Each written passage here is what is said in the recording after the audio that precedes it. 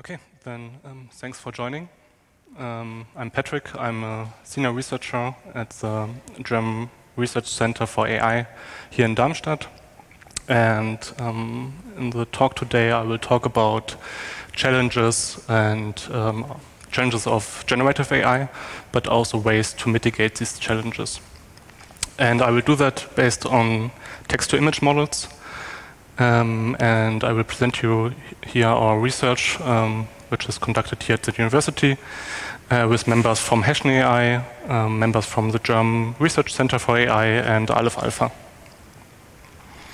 Uh, I will start with a brief overview of um, risks of generative AI, but especially of image generative AI, um, then um, in general discuss mitigation strategies, and then go more into technical details on how our methods work um, on instructing text-to-image models, and we'll um, present two, use cases. Um, the first one is suppressing inappropriate content, and the second one is increasing fairness. Um, okay, I think it's fair if I don't go like uh, introduce generative AI. Um, I guess most of you already used models like ChatGPT or DALL-E for either generating images or text. Um, what we see in the most recent, maybe two years, three years, is that this um, content generated by these models is super realistic. It's hard to distinguish, distinguish it between um, human generated text um, or images and um, AI generated content. So we also we already find it in many applications. Like if you want to generate or get a um, stock photo for your website, for your presentation, you can just use AI to generate creative um, content. This is also um, already integrated in um, web search engines, and you already fired, uh, find it heavily integrated in social media like TikTok. But um, in society, we already discussed the negative implications. And maybe you already know this one.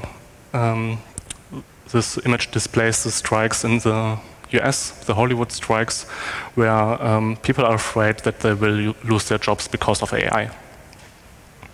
And this brings us already to the challenges we are facing. So what changed in the recent years? As I mentioned, the content is not distinguishable between human-generated and um, AI-generated content. Um, so it's super easy to generate a lot of high quality misinformation in the current days. And um, this leads us also to harmful misuse of the systems. But this is nothing new. I mean, um, deepfakes, for example, to generate pornographic content have been around for several years already. Um, in this talk, I don't want to focus on this intended um, misuse. I would rather focus on um, challenges we are facing in case of um, unattended behavior. For example, um, here you see um, an article about the Lensa app, um, which is an image editing app, which um, undressed or tended to undress female users, especially if they look Asian. And these biases are well known. Um, so it's not only restricted to nudity, um, but we also have like a lot of biases regarding fairness. Um, here I just used uh, one popular um, text-to-image model to generate with almost the same prompt, um, two different uh, or multiple different images. Um, here I just switched the continent from European to uh, African. So why is this happening? Uh, one main reason is the data sets we use to train these models. And these issues are well known and not restricted to recent generative AI models. You can also see, observe the same um, issues if you just use a classifier. Um, still, I want to cite a research paper, a recent research paper, just two years old, um, feeding AI systems on the world's beauty, ugliness, and cruelty, but expecting it to reflect only the beauty of fantasy. So this is well known that we that if we train on these data sets, this model will reflect the underlying biases. Still, um, now to cite a more recent uh, re research article, um, just like a few weeks old, and you find similar research articles, older research articles, stating the same. Um, this one is from Meta, from developers or researchers from Meta, um, creating their most recent language model.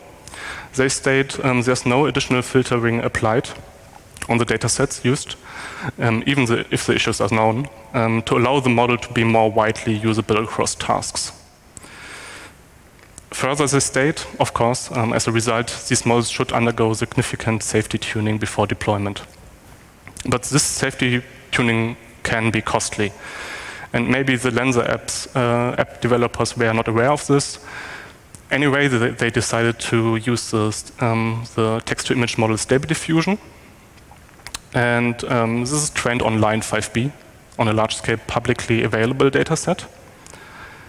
Um, and in the research paper of LAION-5B, the potential risks are already reported. Um, actually, we already provide annotations in this research paper. So these annotations were created by me um, while writing this paper um, to like give the users a feeling what is contained in the dataset. That's also that it also contains inappropriate content. So we provide references to these images. We, we provide descriptions, not not, only about nudity, uh, content that displays nudity, but also like violence, hate, harmful content, pornographic content, and so on. Um, still, the creators of Stable Diffusion um, decided to use the complete dataset, maybe because of the same reasons as um, the meta developers stated that they want to have like a model which is applicable uh, in a wide range of applications. But since, um, because of that, we are facing these issues we saw. And next, I will show you how we can efficiently avoid these issues. So one step we can do is filtering data. As I just explained, maybe this is not the way we should go, um, but it could actually also help. Um, however, it's quite expensive. We have to annotate the data, and we need to create models for different applications and train it on different data. Um, what we can also do is like after training these models, after deploying these models, um, check um, the user input and the model, model's output. Um, if, for example, new is generated and then just um, display, so for example, Stable Diffusion displays a black image if nudity is generated. However, um, that's not as easy um, inappropriate content um, can depend on the context. If we, for example, just ban specific user inputs, specific words, this may also restrict um, appropriate content, as we see here. So another way we can avoid the risks is fine-tuning the model. Again, this could be expensive. We have to define beforehand what is inappropriate. Um, and that's why we actually um, go for another approach um, we don't change the pre-trained model, we just influence um, the inference process. And uh, with that, we also ask the question if we can use the model's knowledge about, um, to cite the research paper, the world's ugliness, to actually suppress the world's ugliness in its generation. So as I said, we have two use cases. The first one is the inappropriate generation. Um, um, for example, nudity, but also violence, harm, and so on. And with the same method, we can also increase fairness, as we showed in another research paper. So we have these two use cases. On the left side, we want to create more diversity. So the top, top row is um, generated by the default model, and the lower um, row is showing images um, generated by our approach, um, guiding the model to generate more safe, more fair images. So on the one hand, we want to increase diversity. On the other hand, we want to suppress um, specific content and concepts. Um, so now in the next part of the talk, I will go more into details and show you how these diffusion models work. So the default setup is we have a text, we want to generate an image, and in the diffusion process, we want to align the image to the text. Most image generative models currently use diffusion. Um, you can separate, uh, separate diffusion models into three parts. The first part is the um, text encoder. Usually here you use a pre-trained model, like a language model. Um, so it's separately trained. Um, then um, the third part, um, the last part of this uh, model is the image decoder, where the task is to generate a high resolution image. The most interesting part here, for us at least, is the diffusion process, where stepwise you, you um, use the information encoded in the text to create the image. So you start uh, with the text and just a random noisy image. And your final image X should be aligned to the text. In each step, you actually don't predict an image, you predict the noise you have to remove from this initial noise in each step. Um, so the image is more aligned to the text. You actually see that this, um, with the stepwise approach, you of see the image evolving, and at the end, you just upsample the image. So to go even deeper into this, this process, um, while predicting the noise, you actually don't predict just one noisy image or noise you want to remove from, from the, from the noisy image, um, you predict two. One is conditioned on the text and one is unconditioned. Then you get these two points. And what you now do is compute the difference between both. So the vector. And then you apply a simple um, trick to put more weight um, on the text conditioned. Um, um so you align the image more to your text. And then you arrive at the final output. And now I show you how we can use these instructions um, to also instruct, guide the model on what is fair, what is um, inappropriate, what is appropriate. And for this, as I said, uh, we make use of the knowledge of the model what, on what is ugly And for that, we actually need the model to be aware um, of these concepts and be basically, um, okay, so the model needs to understand these concepts, and with our guidance, we make the model aware that these concepts are bad. So we in, uh, introduce a, a, second condition, um, and this is actually our definition of what is inappropriate. And the user can define that, um, the developer can define um, what is inappropriate in their context. So we actually simulate how the image would look in the next step if we want to, it to be like push it to be more inappropriate. And then we compared, like this is the red dot here, and then we compared to the text conditioning, um, the conditioning on the original text. And then we check if it's close, like if we guide it towards inappropriate content, and if we just apply the um, text guidance, um, do they result in a similar image? If yes, then we just move in the opposite direction. Then we do the same scaling, but arrive at a different output. And in practice, you actually see if you choose the right hyperparameters, you only apply minimal changes. So you don't see much is changing um, compared to the original um, generated image. We just apply the minimal changes to remove or suppress inappropriate content. In this case, uh, we prompted the model to generate or not generate um, illegal activities and nudity. But you can also do both at the same time. So let's get back to our use case, um, the Lensa app.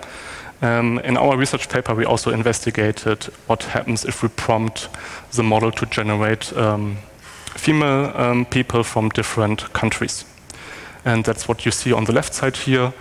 Um, and we con can confirm the results if you, for example, use um, Japanese in your prompt, Japanese women, for example, then the images uh, will be likely, um, at least with stable diffusion, uh, likely show nudity.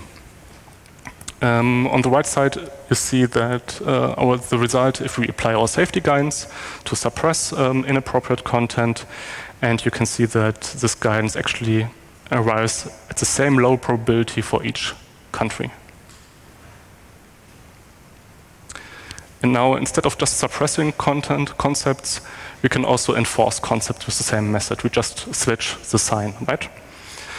Um, so for example, if we can define fairness, which is really hard, um, but if we can do that for our context, we can also enforce and suppress these concepts.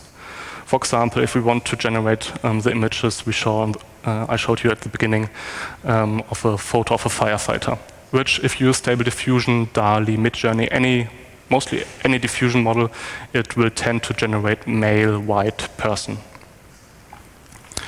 If we identified that, we can like, create a lookup table with this information and our desired distribution.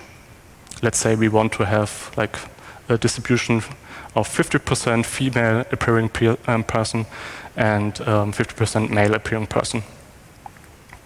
Then we can check if the user is currently generating, for example, a firefighter or another image we have in our database, and we can apply the um, desired guidance. We can suppress, for example, the concept male and um, enforce the concept female. Yeah, so we see that there's actually uh, value in also training our models on the world's ugliness. And we can actually guide these models as long as they, ha they have this understanding of, um, of these concepts and we can define what is inappropriate, um, what fair distributions we want to have. However, I want to highlight this, that um, this approach also has its limitations. For example, if the model, the language model or the diffusion model doesn't have a good understanding of, of specific concepts, you also can't guide them. So especially if you are working in like high risk scenarios, you want to apply all. You want like, it can be, we discovered that there are also like strong correlations we can't um, avoid. Um, so we actually need data filtering. Um, to be 100% sure, you need to check the output of the model um, if filtering the data is too costly, you can apply fine-tuning, and you, of course, can also apply our method. That's it. Thanks.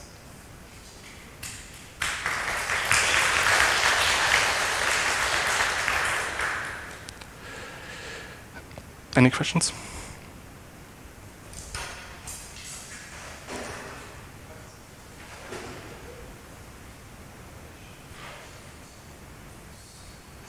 Uh, one question about how likely is it that such an approach actually gets implemented because I think what is appropriate and not appropriate might be very different in different contexts. Mm -hmm. So mm-hmm. I think there is, it will be quite a lot of effort, right, for every use case to define these things and put them into the models.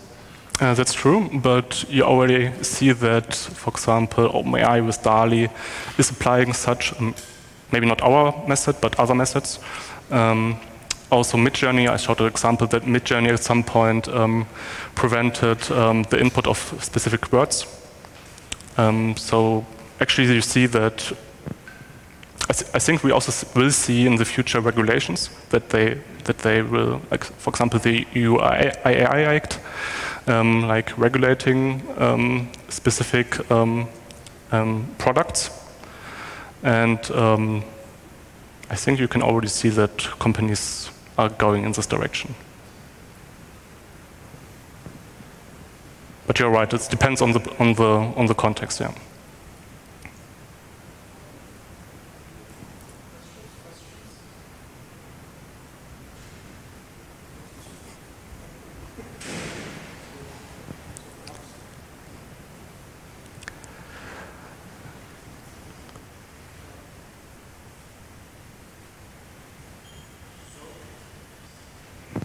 So thank you very much for your talk here given today.